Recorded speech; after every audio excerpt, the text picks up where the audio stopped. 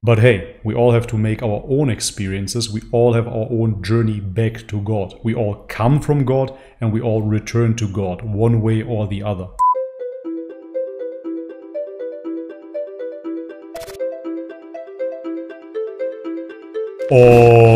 Alright guys, welcome back to the channel. If you're new, my name is Bobby. Guys, today we're gonna react again to Leo Gura from actualized.org. The last time I reacted to Leo Gura must have been almost a year ago by now. Back then I criticized him quite harshly because of his claim of being God. Now I heard he came around and he's addressing his pitfalls and the danger of psychedelics. I'm going to give the video a fair shot.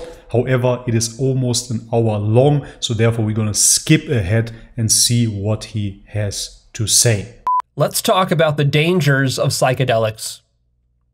Let's. As you probably already know, I'm a huge advocate for psychedelics, using them for personal development and for spiritual development to raise your consciousness. And there are a lot of immature people who go into psychedelics who don't do their research and don't think through some of the stuff that could potentially occur. Well, this is good to see, but nothing new. Anybody that truly explored the space of psychedelics, myself included, comes to the same conclusion after a while. Not many people know this, but even the great psychonauts like Terence McKenna in their later days actually stopped using psychedelics because they start facing the dangers of it. That was a bad trip, man. It was real bad. But in the beginning, psychedelics are alluring. It seems like the holy grail, and this is when people start sharing their message. I did that too here on my YouTube channel. Leo Gura, on the other hand, has 1 million subscribers and now the damage is done. Let's see what he has to say. Let's see what he realized. When you're using psychedelics. So, for that reason, and precisely because I'm such a huge advocate of them and I tend to speak so positively about them, I wanted to do one episode that just focuses exclusively on the negatives and the dangers. Uh, another danger is falling into chronic usage. So, my personal advice is not to use psychedelics more than once every two weeks. Have I, I get the feeling that you will circle back on this statement as well. In that rule myself in the past, yes, I have. I've, I've done a period of 30 days straight of 5-MeO DMT. High that doses. Heavy. That was a very crazy experience. I have a whole episode about that. You can go find it where I talk about that. But that was done in a very deliberate, almost scientific experiment like way just to see what actually happens. See, I like to experiment with my. So to see what's going to happen is a scientific experiment type way. Listen, I'm not knocking you. I did crazy stuff myself. I went to the Amazon jungle. I was drinking ayahuasca. I was tripping on mushrooms almost every day myself. So I get it. It just sounds funny. Self inquiry, self experience, direct experience is, of course, the way to go if you truly want to know. Nobody can show you, tell you the truth. You will have to experience it yourself so you know what is what. I totally understand. However, by just relying on yourself, you have no reference point outside of yourself. And that is all right if you would keep your wisdom to yourself until you fully actualized it. See what I did there and understood what you're preaching. You, on the other hand, decided to preach to your audience of 1 million subscribers that you are the Messiah, that you are God, that those people should suicide themselves. This is where the problem lies. In consciousness, I do all sorts of weird experiments like that.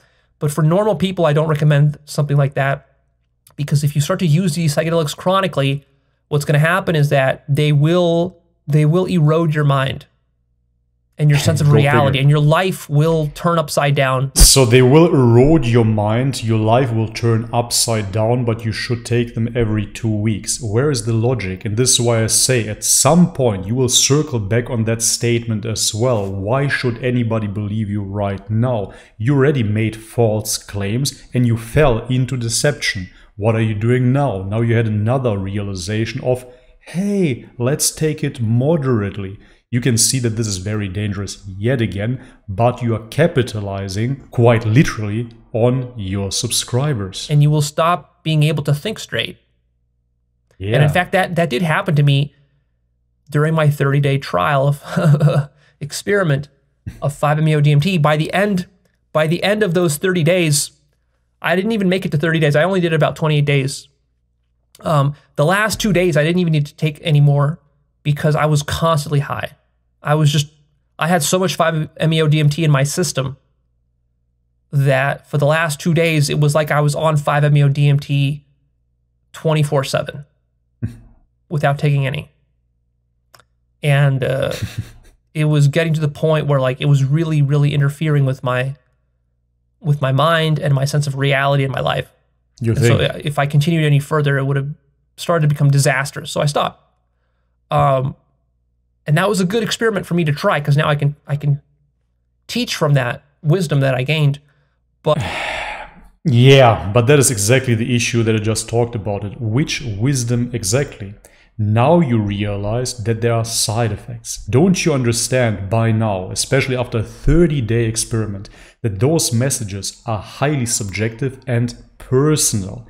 Even if you had the I am realization, the I am God realization, don't you understand by preaching those things, you are creating a mess for vulnerable people. And now, yet again, instead of reflecting introspectively and seeing what you have learned and where you have fallen short, you, yet again, go online and decide to teach people. You're not a teacher. I would advise you not to do that. In fact, I recommend that you take long periods between trips to integrate. Two weeks? Even doing psychedelics twice a month. Really, it's too much. If you do that consistently. Uh, and there you can see that your mind still is not straight. Really, I'm not trying to attack you, to judge you, or whatever. You just mentioned every two weeks should be fine. Couple of minutes later, you say, oh, actually, that is too much as well. Which one is it? Make up your mind. What is your channel truly about? I know that many people watch you.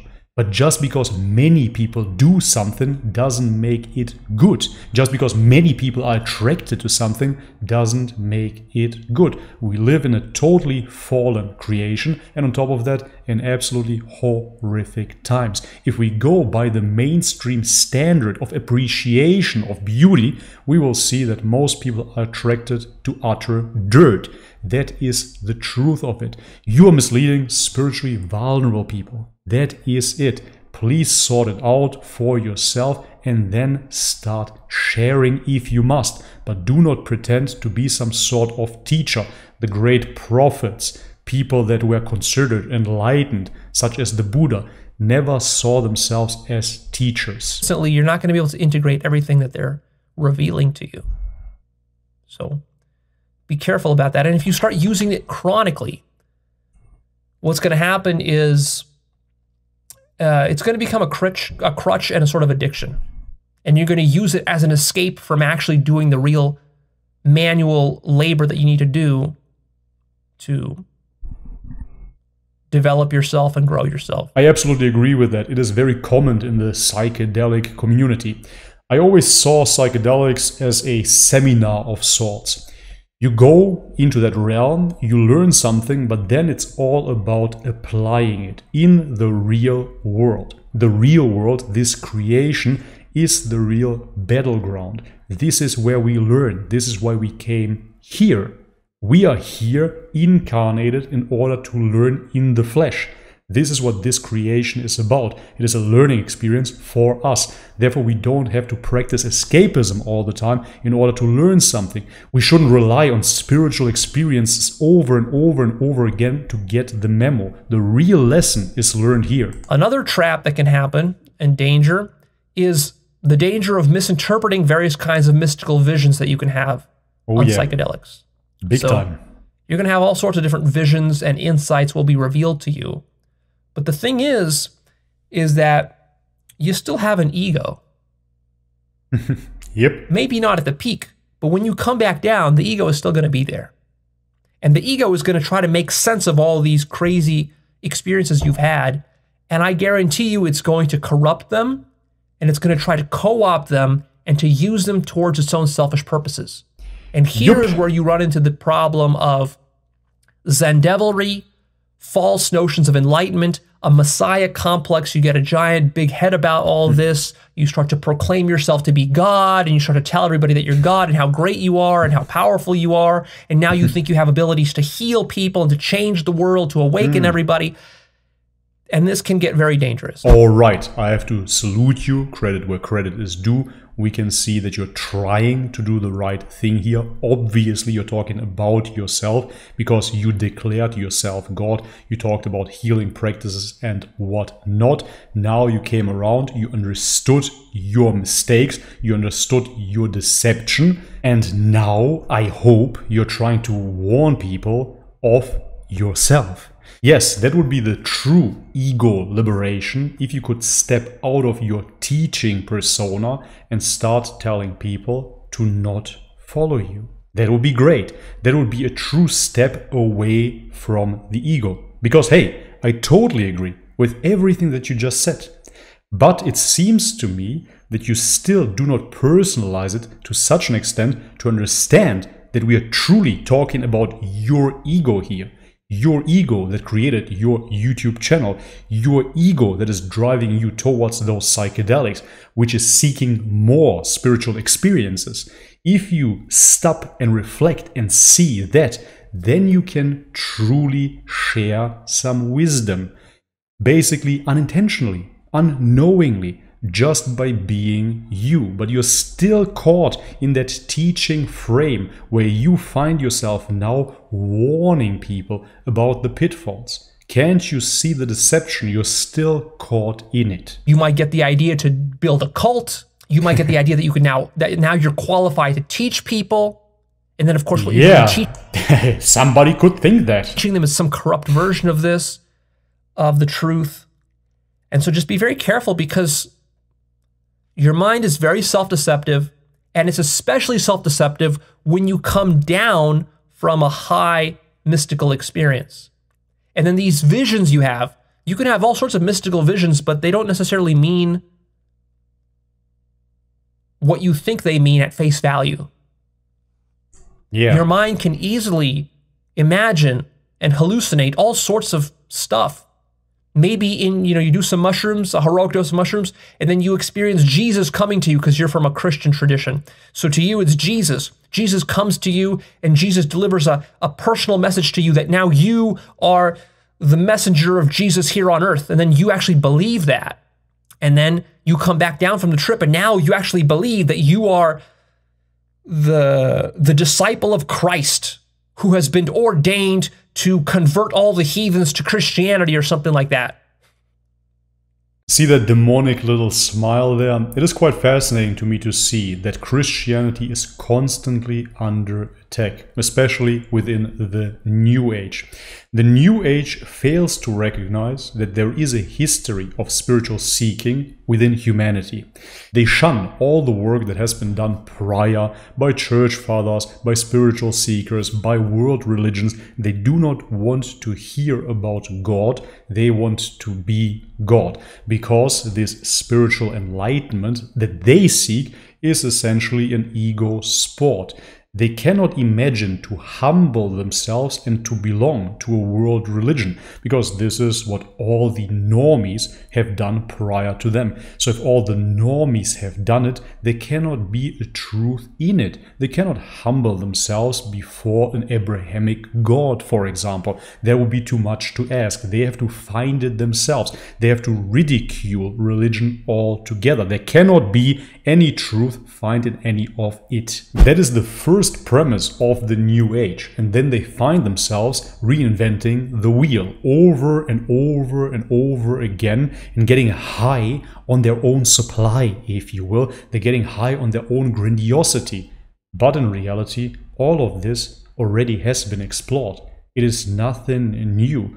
Talking about Hinduism, Buddhism, and then getting into the Abrahamic faiths all of those spiritual lessons have been already witnessed. You can learn it for yourself. You can experiment for yourself. Nobody is stopping you. But when you present it on YouTube, It is so blatantly obvious that you have no idea what you're talking about. It is so blatantly obvious that you're a novice to the spiritual realm. It is so blatantly obvious that you never looked into the real spiritual schooling of any world religion because you denounced it and now you sit here, make fun about Jesus. Listen, man, do you really believe that you're the first one that comes up with the idea of a false vision about Jesus? History is full with false visions about Jesus. This is not a great example about anything. In the Orthodox Church, this is called prelest, which means it is spiritual deception. And guess what? We fall all victim to it. How can you know that you are well prepared? It is like going to a war zone without any type of military training. Of course, you will get injured. And if not, then you got really, really lucky. That is it. Of course, we need some sort of schooling, some sort of practice in order to understand what we are seeing, in order to understand how to put it into context. Again, I'm not against experimentation at all. I did it myself. But what we see here is so juvenile, and it doesn't seem that he truly understood that he has been misled and probably still is deceived. You see, the psychedelics, they will I see. Exacerbate any kind of uh, biases and self deceptions that you have going in your mind. Deceptions. Yes. So it's very important that for you to gain the most out of psychedelics, that you actually have a pure mind, a mind yep. that has inquired into itself outside of the psychedelic trip. Mm. And has cleared and purged out various kinds of biases and egotisms and shadow sides and selfishness because How if do you do not if you have this dirty, corrupt mind, you have your mystical vision, it's going to come back, you're going to come. I actually like the wording, this dirty, corrupted mind. And this is exactly what we talk about when we talk about sin. Sin defiles the image of God, sin defiles the vessel, and therefore your vessel, let's say your bottle, is dirty, and the water that you pour into the bottle will get dirty as well. It's an analogy in order to paint a picture. And I agree with you, but this is exactly the question now how do you purge the vessel if it is not done by psychedelics? How do you stay away from sin is the question. Back down and then you're going to reinterpret it and and then you're going to corrupt it with all the corruptions in your own mind. It's going to all get corrupted, all mixed together. You won't be able to tell the truth from the bullshit, from the mystical vision, from the selfish personal needs you have and the egotisms and shadow sides that you have. It's all yep. going to mix together and then it's going to turn into this toxic mystical stew, and then you're going to go hmm. run around trying to infect everybody else with it. I would love to see Leo scratching the you and addressing himself. As I said, that would be the greatest practice of non attachment, if you will. This would be a great way to get away from your ego and actually address you. Because we all know that you are talking about yourself. It is quite obvious. And this is what I would call Zen devilry. It's also possible that you have some sort of mystical vision or awakening even. And then you come back down and now you think you fully understand reality. When you don't, you only saw one facet. You don't. You. A small facet you. of the truth, not the whole truth. Mm-hmm. There's many facets. I have an episode called The Many Facets of Awakening. Go check that out. There's at least a dozen or more facets to awakening and it usually takes you multiple trips over a period of months and years to assemble all the facets and to see the big picture. My question there is Are you awakened yet? Because how do you know? Now you're trying to create a construct, now you try to make sense of it, now you say there are certain layers of awakening, which is all fine and dandy. But the question is, how do you know? Are you really at the peak? This is as if I would talk about bodybuilding, what it means to be Mr. Olympia but I've never been Mr. Olympia. I've never been a competitive bodybuilder. I can talk about hobby bodybuilding. I can talk about my accomplishment within bodybuilding, but I cannot talk about what it takes to become Mr. Olympia. So if you would be truly awakened, then this would make sense. But like this, it is again the blind leading the blind. One or two trips is not going to be enough. So it's easy to misinterpret some of these visions or insights or to think that you got it all figured out when actually you don't. And so yeah. you do have to be very careful about that. Just be aware that you can certainly deceive yourself about awakening I'll rest and my mystical case. visions. So who tells us that you are awakened if you can be deceived? Hmm? And you can misinterpret those and you can misinterpret them very badly. Yeah. So be aware of that. Be the aware next of danger that. Is the pain of being disconnected from God, as I call it. So, what will happen if you're doing psychedelics properly is that you will eventually reach a stage of God consciousness where you become conscious of God. And these are going to be some of the most beautiful and profound experiences you've ever had in your life. It will be the most important thing that's ever happened to you. And it's going to be the most beautiful thing. And then you're going to fall out of it. You're going to lose it the next day. Fall from grace. And then you're going to wonder, well, how do I get it back? And then God itself will become like the thing that you chase. You will become intoxicated with God, with the idea of becoming God or being one with God or the feeling of God's love and all this. is so intoxicating. This, this infinite love is so intoxicating that it's going to pain you just going through your everyday life being disconnected from this love and from God. This could potentially get so bad, you might even get suicidal.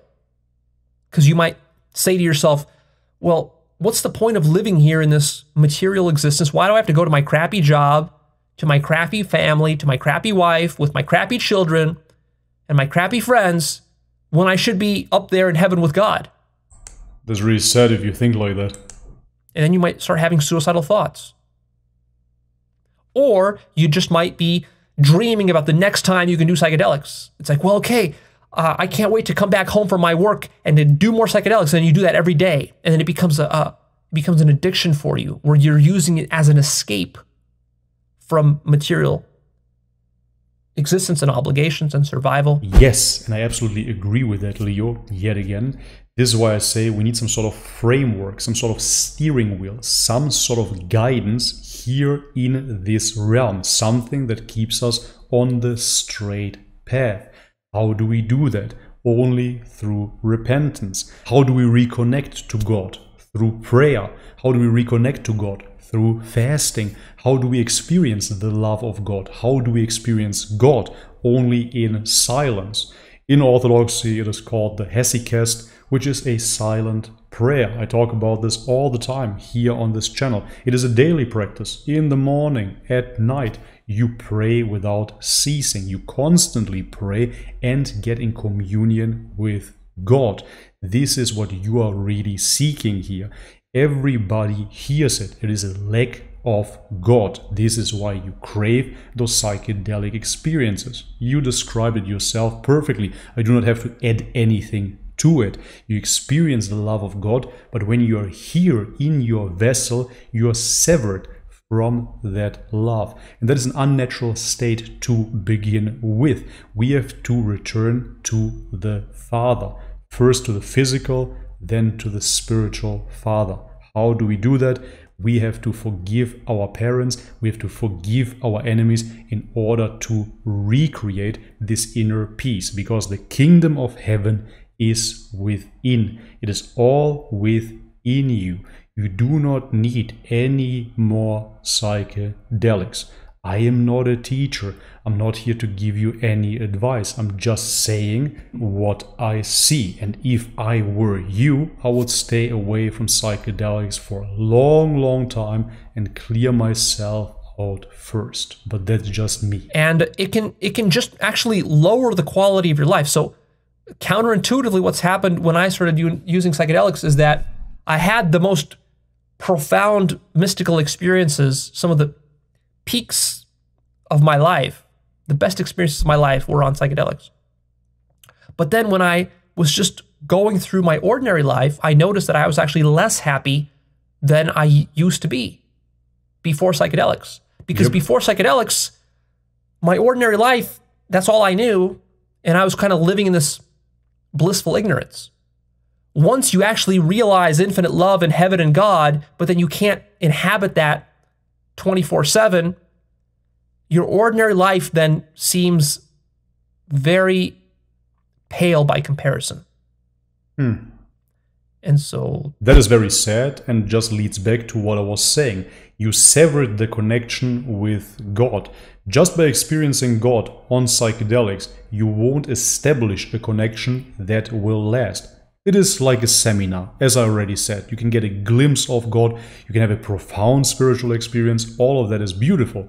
However, it cannot be integrated and kept you will need a practice, you will need a faith, you will need a certain religious, for the lack of better words, behavior in order to incorporate this, in order to cleanse your vessel on a daily basis, in order to experience God on a daily basis. Otherwise, you will suffer. I'm not a psychologist, I do not know what happened in your childhood, but it seems that you're longing for that love it seems like you experienced a cut in love, be it from parents, be it from other loved ones. It seemed like you lost this connection to love physically here and then ultimately to God. This is where all the seeking comes into place.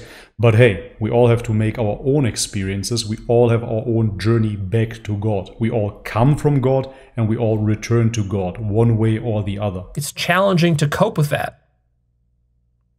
You have to sort of relearn to appreciate just the paleness of mundane existence because it's so pathetic compared to the peaks you can achieve on. But it's not at all. It's quite interesting to me now. I haven't touched psychedelics in, I believe, roughly two years or so. And hearing this, it is surprising to me because this is not how I see the world at all. This is not some sort of make believe, some sort of wishful thinking but I truly experience this world, this creation, as infinitely beautiful. I'm not seeking any psychedelic experience whatsoever. Just looking at nature, I'm marveling at God's creation. It is absolutely mesmerizing every single day, no matter where I am. Even in big crowded cities, I'm marveling at this creation. It is utterly beautiful. And I experienced high peaks on psychedelics myself. I did not only heroic doses. Heroic doses are considered 5 grams of dried mushrooms. I ate 35 grams of dried mushrooms. I ate 100 grams of dried mushrooms in a course of 24 hours. I did all kinds of crazy experiments, let me tell you. And this creation never seemed mundane. Because if you have God in your heart, if you have love in your heart, if you have eyes to see, everything is absolutely beautiful. I just wish you could see that too. Psychedelics. So be careful with that. It can lead mm. to some kind of uh, addiction. If not a physical addiction, because you can't really get physically addicted on psychedelics, uh, it can become a psychological addiction. Especially if your ordinary life kind of sucks and you got nothing going for you in ordinary life, then mm. I can definitely see how these psychedelic peaks they can become like a an escape Sure. And it becomes your sole purpose for living is just to escape into these psychedelic peaks. And that is not going to be healthy or sustainable in the long term. So be careful with that. Speaking of suicide, that's the next danger. Psychedelics can make some people suicidal for various reasons. Maybe because you feel like you're losing your mind. Maybe because you feel like life is meaningless and you've fallen into some sort of nihilistic solipsistic funk.